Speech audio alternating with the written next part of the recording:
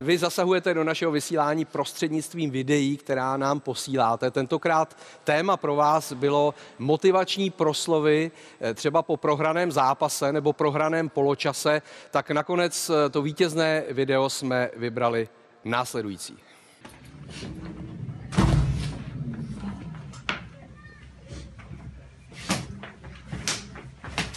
Gebertirim lan sizi. Ağzını sikinin ilk neleri. Sırf oynadığım topumu amına koyup hep yüzünden ağzını yüzünü sikerim size verdiğim emeklere lan. Ne lan bu rezalet? Miroslavu Dvořákovi děkujeme. Z jaké to mohlo být kabiny? Děje se tohle občas? Ty jo, tak tohle bylo docela krutý, bych řekl. To, to nebylo hraný, tam ty, tam ty facky lítaly, já nevím, jestli trenér třeba to taky používá. Vypadá to někdy takhle v kabině Hradce? Ale jestli to teda nebylo hraný, tak klobouk dolů před těma klukama, že byli takhle pokorní. A ten jeden frajer, že to dokázal natočit. A ještě to... Já s- samozřejmě mám nějakou nálepku takového trošku přísnějšího trenéra, ale proti, němu to jsem čajíček. To, to, to, to, to, to, to, jsem... To, to.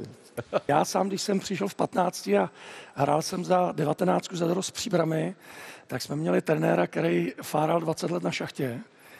Hrával tam kdysi, neskutečně jaký ten tvrdý typ toho hráče a, a ten, ne že by někoho zmlátil, ale házel tašky nebo prostě kopal do věcí a ty trefovali ty hráče. Jo. A mm-hmm.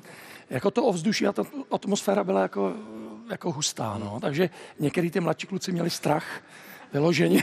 No, jo, byl takový přístup. Pepo, herecká šatna vypadá někdy podobně, nebo ne?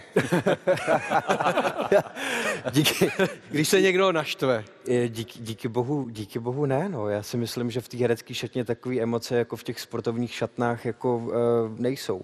Primárně kvůli tomu teda taky, že tam není poločasová pauza, jako kde by se to dalo hodnotit, ty naše eh, výkony nebo občas nevýkony. Tak ale bývá přestávka, ne? Přestávka bývá, to je pravda, ale, ale jo, je, je, je, je, fakt, že by vlastně možná někdy nám, nebo mě Že by to konkrétně prospělo. třeba jako neuškodilo, kdyby režisérka nebo režisér jako v- se trošku převtil do trenéra a, a trošku tam vlítnul a udělal tam nějakou neplechu. Sledujte kanály O2 TV Sport, kde najdete další zajímavé ukázky a rozhovory.